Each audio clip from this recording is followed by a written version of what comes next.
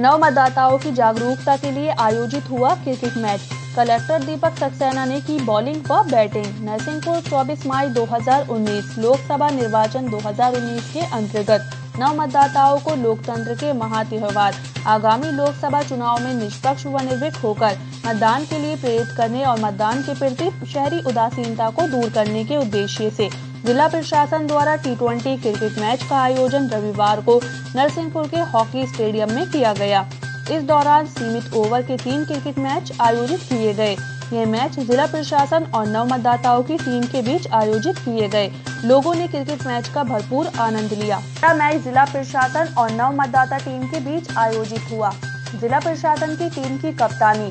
Collector Deepak Saxena ने की collector ने पहले बॉलिंग और उसके बाद बैटिंग की। जिला प्रशासन के opening batsman collector Deepak Saxena और सीईओ जिला पंचायत आरपी आहरीवार थे।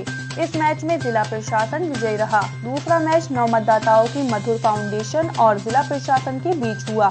इस मैच में मधु फाउंडेशन विजयी रहा। तीसरा मैच पुलिस प्रशासन, एकादश और नौ मतदाताओं की टीम के बीच हुआ। इस मैच में नौ मतदाताओं की टीम विजयी रही।